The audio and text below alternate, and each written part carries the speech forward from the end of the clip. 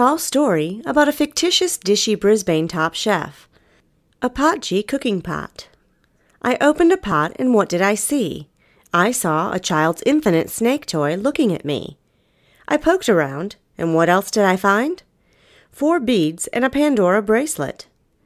I concluded they could be made into fishing line weights. For what else did I find in the burnt bottom pot? A cookbook with dishes that included the Mungindi toad in the hole. This cooking manual explained how to make Cherbourg porridge and Yarrabah pancakes, too. Brisbane recipe was Musgrave Park homemade tomato sauce and beans on toast. How kind to have this Pandora potji pot treasure. A simple South African cooking pot to be passed on to me. Old recipes that included Nan's and Granddad's favorite bush tucker recipes. There was a recipe for Uncle Mike's Woorabinda jump buck stew, another recipe for Palm Island upside down cake, or even a simple Brisbane chef's recipe curried sausage casserole. Oh, goody! This was my dad Johnny's favorite dessert rice puddin' and also Mum's favorite, bread and butter puddin', with sultana bread and jam. Even Kempsey milkshake spider, not to forget the Kempsey coconut and chicken curry main, served on a bed of steamed rice. Quick, rush out and buy some bread, some eggs, oats, to make some porridge, rice and honey, and lastly, don't forget the brown sugar. Make up some powdered milk, and bring home some oranges to squeeze on the pancakes with brown sugar. That, unlike the Mungindi orange, don't stop in the middle of the road, as the Mungindi orange ran out of juice. You can use lemon or orange juice on top of pancakes, and sprinkle sugar as the last afterthought before you eat them up. Don't forget to be like a boomerang and come back quick. A wooden cooking spoon, put that on your list. Love you, Ma. Love you, Pa.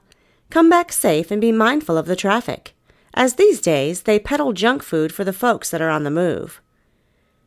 For cooking with this black potji pot means an open campfire. Old newspapers are ripped up and burned. Some marshmallows on a stick wouldn't go astray, However, I think twice these days as being scolded by a hot candy, or a hot fire, or a spitting cook pot is nasty and wrong. Campers beware as fires don't include any safety manual on cooking hazards.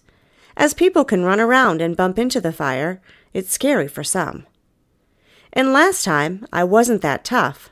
When I stood on a hot ash that had flown out of the fire, Mum kissed my foot better but now I am bigger and it means not forgetting to keep wearing my shoes. Can you put that on the list too?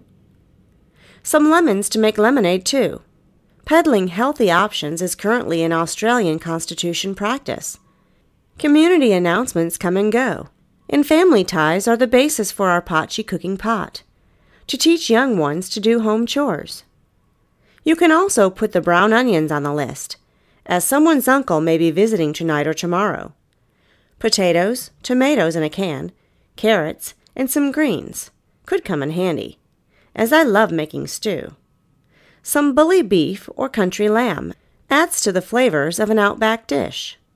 Lentils and barley sometimes add to a main meal, especially when making Kalgoorlie ham and pea soup. Some daily protein is good. Even some vegetables give us our daily roughage. Vitamins and minerals are good for our bones, nails, and hair and we need these nutrients in our diet to feel good. Less on the sugary lollies and fatty fast foods.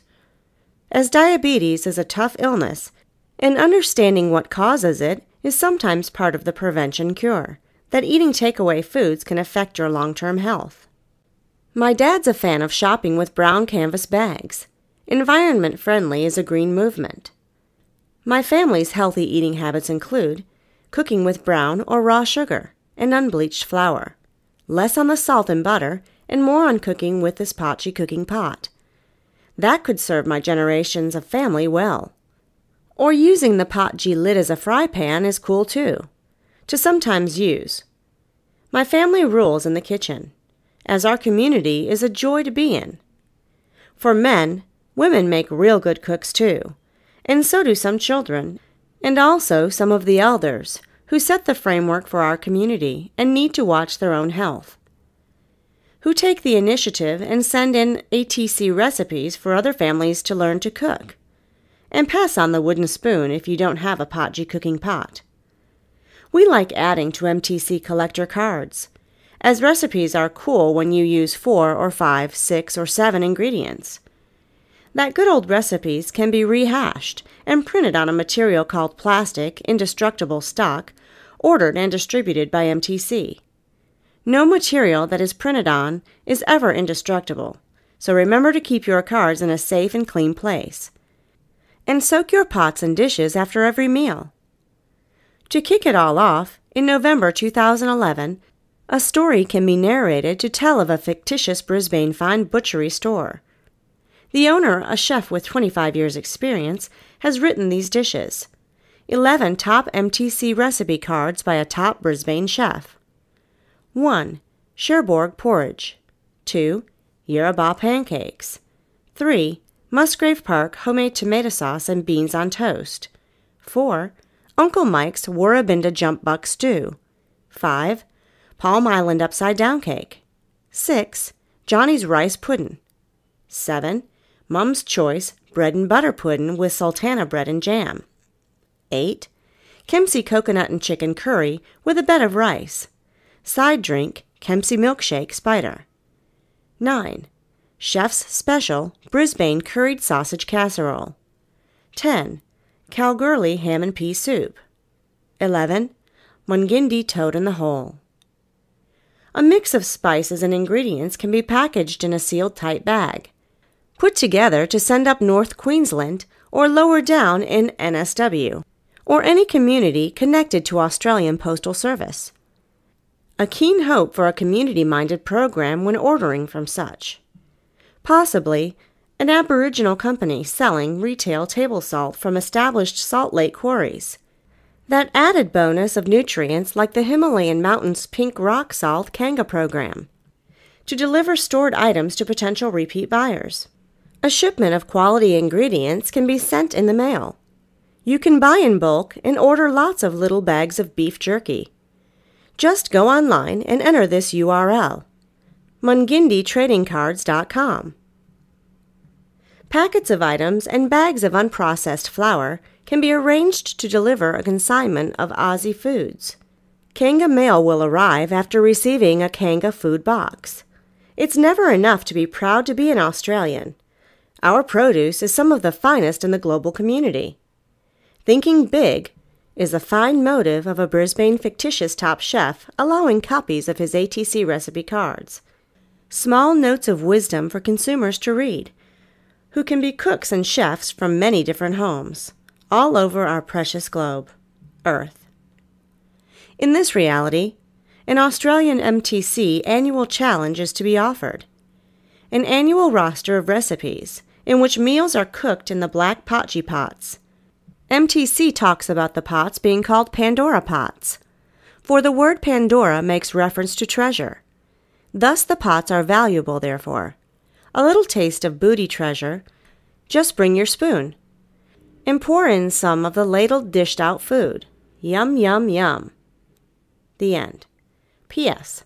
Thanks, chef. Thanks, cooks. Listen to this Wikipedia article. How cool is this online free information site? Here is an article about the Potji pot's origins.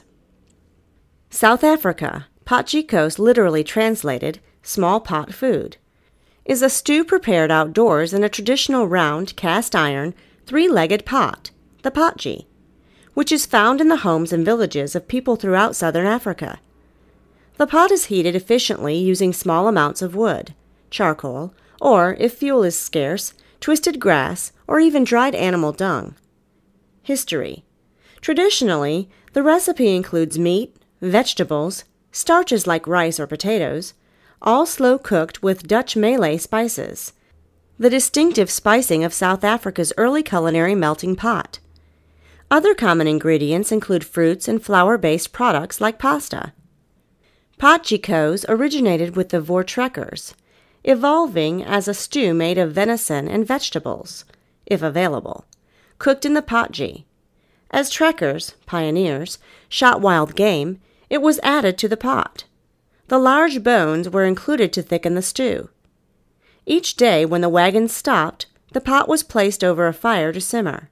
New bones replaced old, and fresh meat replaced meat eaten. Game included venison, poultry, such as guinea fowl, warthog, bush pig, rabbit, and hare.